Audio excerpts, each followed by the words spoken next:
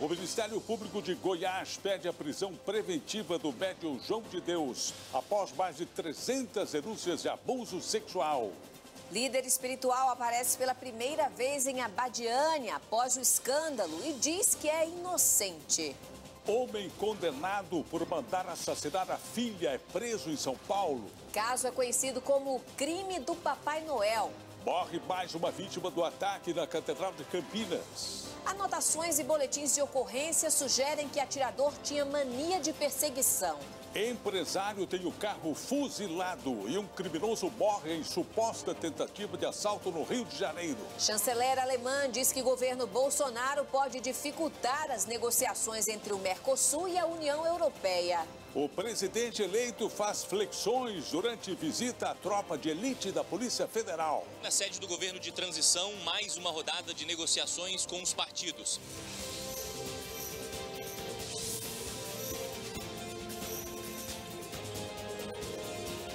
Está no ar o SBT Brasil, com Carlos Nascimento e Raquel Sherazade.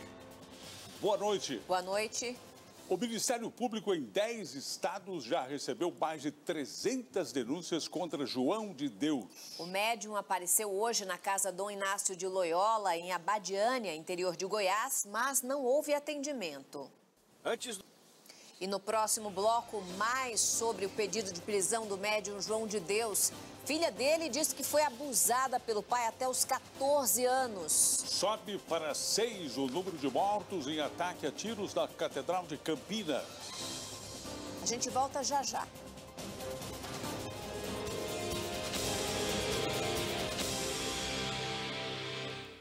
Foi preso hoje no interior de São Paulo o empresário que mandou matar a filha no caso que ficou conhecido como o crime do Papai Noel. Renato Arquila foi condenado a mais de 10 anos de prisão pela tentativa de assassinato ocorrida em 2001. A polícia do Rio de Janeiro ainda não sabe o que teria motivado o ataque ao empresário ontem à noite na zona norte da cidade. O empresário teve o carro fuzilado, mas conseguiu sobreviver.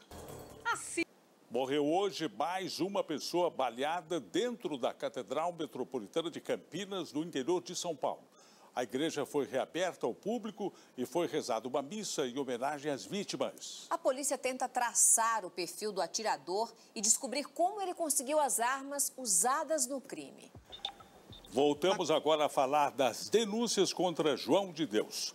O Ministério Público de Goiás pediu a prisão preventiva do médium. Os promotores que cuidam do caso disseram que não vão se pronunciar. João de Deus é acusado por mais de 300 mulheres em 10 estados de abusos sexuais durante os atendimentos espirituais. O médium também atendia em uma casa no interior do Rio Grande do Sul. Depois de uma denúncia de abuso sexual de uma menor há seis anos, ele não apareceu mais na cidade de Três Coroas, a 100 quilômetros de Porto Alegre. Três meses depois. A filha do médium João de Deus, Dalva Teixeira de Souza, revelou em uma entrevista em 2016 que ela era molestada sexualmente pelo pai. Ele tirou minha roupa. Nós entramos em contato com o advogado do médium João de Deus, Alberto Toron, mas ele não respondeu às nossas ligações. E tentamos falar também com a defesa da filha dele, mas também não tivemos retorno. Vamos agora a outras notícias pelo Brasil. O Corpo de Bombeiros ainda não sabe a causa do incêndio que destruiu duas lojas hoje no centro de São Paulo. A Polícia Civil e o Ministério Público descobriram um esquema de fraude na Companhia de Águas e Esgotos do Rio de Janeiro. Funcionários negociavam propina para perdoar multas de clientes. O Ministério Público cobrou do governo de São Paulo a contratação de médicos psiquiatras para os presídios do Estado. Apenas 3% das penitenciárias têm esse tipo de atendimento. As lives. Jair Bolsonaro conversou hoje com as bancadas dos partidos em busca de apoio para formar a base política do futuro governo. Antes, mesmo ainda em recuperação após a facada, o presidente eleito foi à Polícia Federal e mostrou que está em boa Ter forma. um diploma já não é garantia de um bom emprego.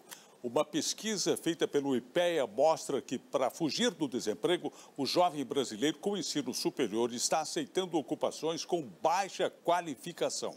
O Comitê de Política Monetária do Banco Central decidiu por unanimidade manter a taxa básica de juros, a Selic, em 6,5% ao ano. Segundo o Copom, os indicadores da atividade econômica mostram recuperação gradual da economia. A empresária chinesa presa no Canadá a pedido dos Estados Unidos foi solta hoje depois de pagar uma fiança bilionária. Patrícia Vasconcelos. Vestindo a chanceler alemã Angela Merkel declarou hoje que o tempo para a assinatura de um acordo comercial entre o Mercosul e a União Europeia está se esgotando e que as negociações podem ficar mais difíceis depois da posse de Jair Bolsonaro. A tentativa dos dois blocos de chegar. No próximo bloco, o presidente da Venezuela acusa o Brasil de envolvimento em plano dos Estados Unidos para tirá-lo do poder. O Atlético Paranaense altera o nome e o escudo antes da final da Copa Sul-Americana. Não perca, é já já.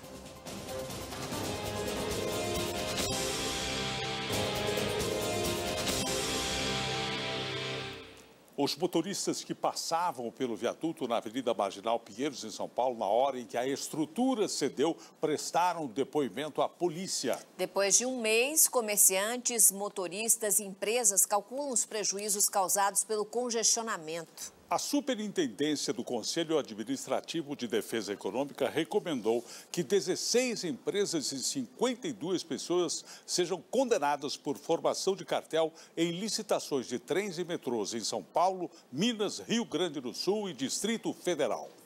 Agora caberá ao Tribunal do CAD avaliar o parecer. Se condenadas, as empresas podem ser multadas em até 20% do faturamento bruto e as pessoas físicas em até 2 bilhões de reais. O Partido Conservador Britânico decidiu manter a primeira-ministra Theresa May no cargo. O fiasco nas negociações do Brexit levou May a enfrentar o chamado voto de desconfiança do parlamento. Consegue domar.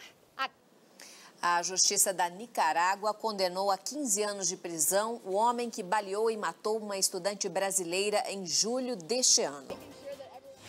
O Atlético Paranaense enfrenta daqui a pouco o Junior Barranquilla, da Colômbia, na disputa do título da Copa Sul-Americana.